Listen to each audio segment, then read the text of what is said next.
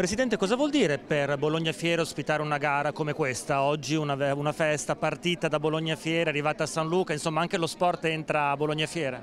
No, è stata una giornata straordinaria che adesso si conclude con eh, la prima bellissima gara femminile e poi aspettiamo tra qualche poco tempo anche la conclusione della più classica gara del Giro dell'Emilia ma eh, stamattina l'organizzatore bravissimo di questo Giro dell'Emilia, Adriano Amici, ha detto che a Bologna ci sono tre cose importanti, San Luca, le due torri e poi anche la fiera. Ha un po' esagerato ma ci ha fatto piacere sentirlo dire.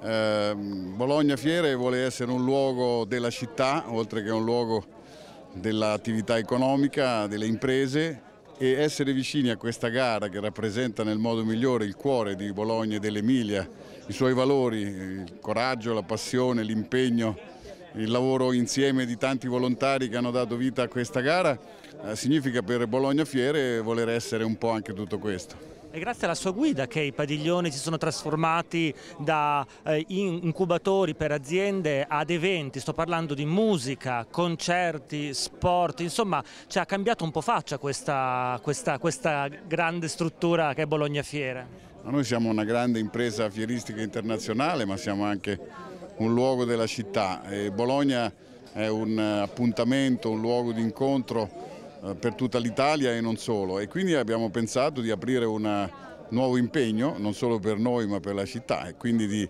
aprire i padiglioni di Bologna Fiere a essere luogo di incontro per eventi, eventi musicali, eventi di incontro di giovani che appartengono all'immagine più bella della nostra città e poi anche un grandissimo evento sportivo. Con il Giro dell'Emilia saremo assieme per i prossimi anni fino a quando il Giro dell'Emilia compirà 100 anni nel 2017 e questo significa per Bologna Fiere anche appunto essere vicino a quest'anima sportiva che premia grandi campioni ma mette in campo anche donne e ragazzi straordinari che sanno guardare al futuro.